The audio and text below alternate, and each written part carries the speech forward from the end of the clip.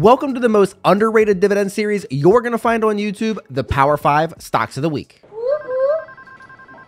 This crowd favorite series comes out 30 minutes prior to market open each and every Friday and will show you stocks with upcoming ex dividend dates that are leaders in a variety of important dividend metrics. That sounds awesome. Without further delay, let's get to the list. This week's high quality stock leading the pack with the highest dividend yield could also be at the most attractive buying price.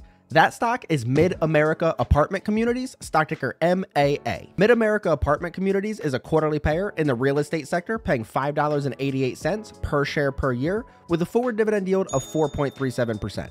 MAA has been paying and growing its dividend over the last 14 years. They have a three year dividend growth rate of 11.24%, a five year dividend growth rate of 8.43%, and a payout ratio of 61.38%. At the time of recording, Mid America Apartment Communities was trading 23.76% off of its 52 week high.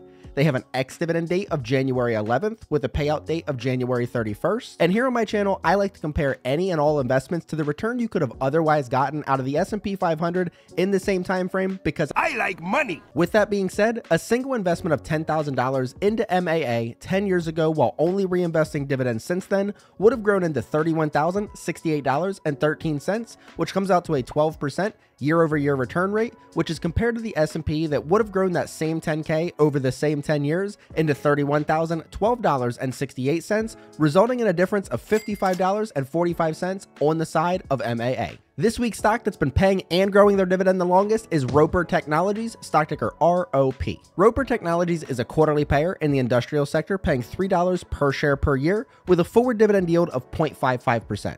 ROP's been paying and growing its dividend over the last 30 years. They have a three year dividend growth rate of 10.08%, a five year dividend growth rate of 10.94%, and a payout ratio of 16.41%. At the time of recording, Roper Technologies was trading 1.22% off of its 52 week high. It has an ex dividend date of January 8th with a payout date of January 23rd. And that single investment of $10,000 into ROP 10 years ago while only reinvesting dividends since then would now be worth $41,756.35, which comes out to a 15.36% year over year return rate and outperforms the S&P 500 by $10,743.67 over the past 10 years. This week's stock that believes in giving you big raises year over year is MasterCard, stock ticker MA. MasterCard is a quarterly payer in the technology sector paying $2.64 per share per year with a forward dividend yield of 0.62%. MasterCard has been paying and growing its dividend over the last 12 years.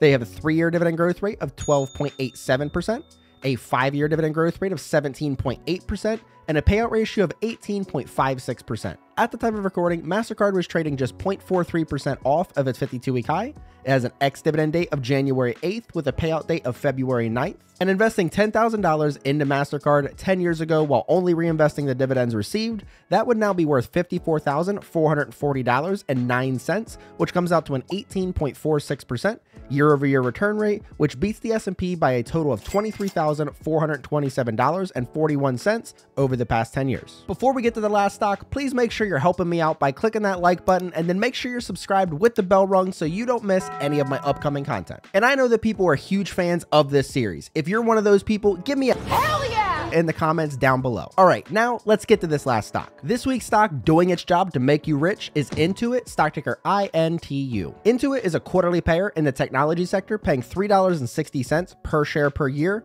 with a forward dividend yield of 0.58%.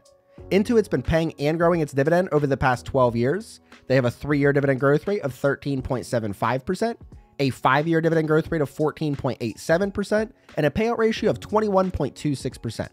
At the time of recording, Intuit was only trading 0.96% off of its 52 week high. They have an ex dividend date of January 9th with a payout date of January 18th. And again, we have that one time investment of $10,000 into Intuit 10 years ago while only reinvesting dividends since, which would now be worth $89,024.82, which is a 24.43% year over year return rate, which nearly triples the return of the S&P and results in a difference of $58,012.14 on just 10K just 10 years ago. And just like that, I was able to show you four different dividend stocks that are the best of the best. These stocks not only come with a dividend streak of at least 12 years, but they've also outperformed the S&P 500 over the past 10 years and have ex-dividend dates of this coming week. Beat that. Be sure to let me know down in the comments if any of these stocks piqued your interest and what it was about that stock that got you excited. And if you're interested in seeing how to make your spare cash work for you in 2024, make sure you check out this video. But until next time, see you.